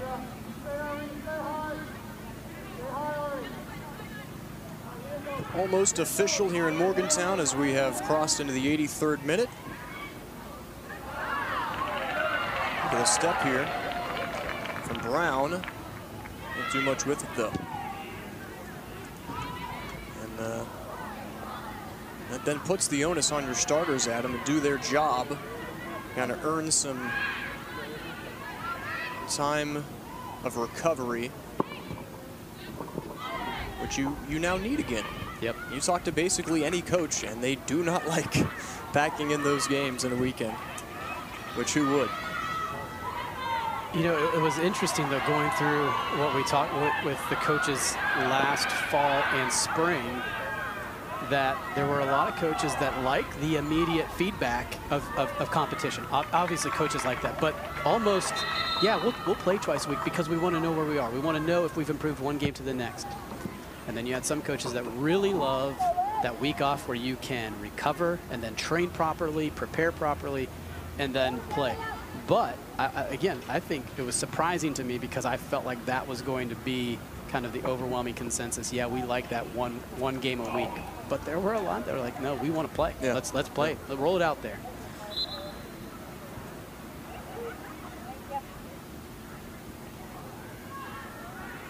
Yeah, understandable. Let's come down to preference. Coach Izzo Brown, though, trying to take all the time to develop that you possibly can. So.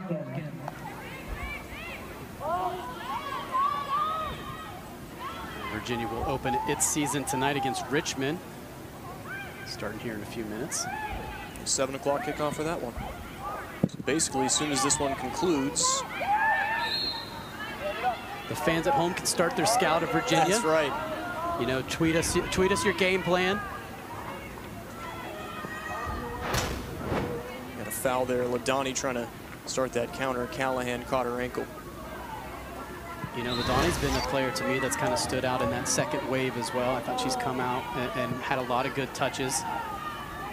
It's it's so you look at a box score at the end of the game and you maybe see you know we've got three different goal scorers right now in this match, um, assists from a couple of different players, but so many players that maybe didn't get that score sheet. You're going to walk away tonight and go, oh yeah, so and so, uh, you know, 16 played really well. Uh, 15 played really well. And just, just you know, pick a number that, that might not show up on that box score. Under five to play here at Dick Dlesk Soccer Stadium. Two first half goals by West Virginia, six minutes apart. In the 25th officially, Vallerand from Heredia Beltran and McCutcheon. That's what the stat sheet says. And then in the 31st minute, Segala from Mackenzie Aunkst. And then Maya McCutcheon in the 53rd minute here in the second half.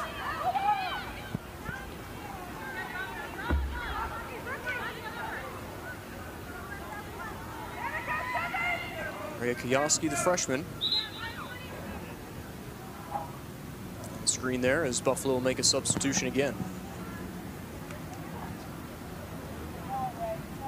Buffalo substitution number 16, Ashley Ladner, for number 12, Catherine Camper.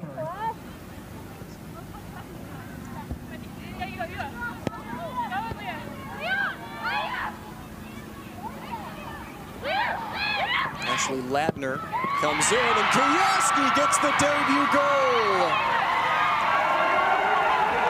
It's four for West Virginia, and it's the new faces making their mark. Right on cue, Rhea Koyaski, and we'll see it again. The work from Sparacio. Speed down the line, and again, how about the outside of the foot finish? Absolutely. And that's a hard-working play. Sparacio just outworking Buffalo. Three minutes left in this. West Virginia's up 3-0 at that time, and the ball's loose. It's a it's a 50-50 ball to a certain degree, probably more 60-40 in, in, in, favor of Buffalo. Sparacio comes in, wins it down the line, and you, you said it. Beautiful finishing touch there for the finish. The bench went wild here for West Virginia, getting that last touch. Two years in a row, West Virginia puts four on the board in the home opener. Did it against Kansas State last year. And now Buffalo this year. Vallerand, Segala, McCutcheon, and Rhea Kiyoski. Worth noting, four different goal scores is that shot just doesn't have enough on it. You can almost probably consider that a half, half opportunity, but uh, you know that's kind of the, one of the themes tonight is the depth. As we take another look at it.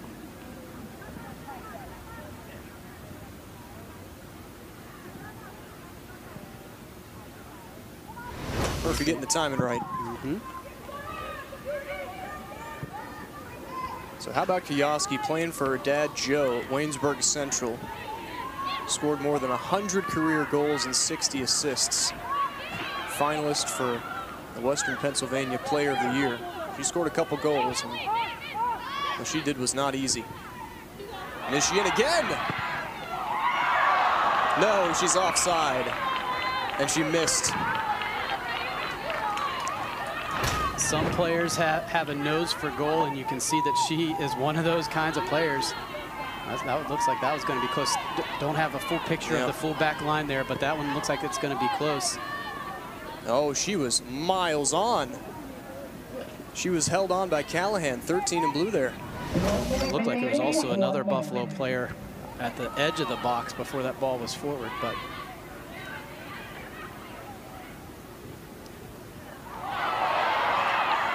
about this from Adler. Trying to get in on the fun. Chloe Adler. Under a minute to go, 40 seconds. With the statement made here for this West Virginia team.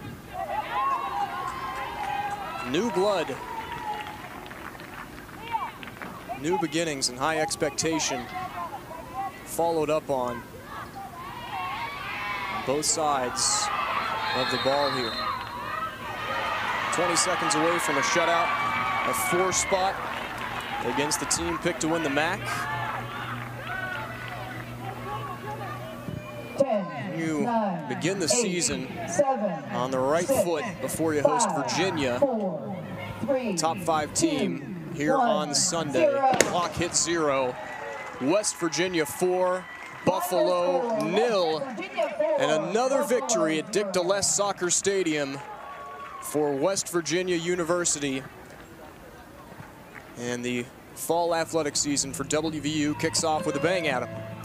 A really complete performance here from West Virginia. Really solid start to finish. Played hard all the way through. Lots of depth on display. Finishing ability. Really solid performance. If you're Buffalo, you're a little bit disappointed, but this will serve the Bulls well going forward. A really talented team, experienced team, and I expect a lot of victories from Buffalo here this season. That's going to be it for us. 4-0 the final. Goals from Vallerand, Segala, McCutcheon, and Kiyoski. Mountaineers victorious here at home. Join us again Sunday when the Mountaineers take on Virginia here in Morgantown. That's going to do it for us as we'll give you highlights until the break. For Adam Zundel, I'm Andrew Caridi saying so long, and we'll see you Sunday from Dick Dlesk Soccer Stadium in Morgantown on Big 12 Now on ESPN+. Plus.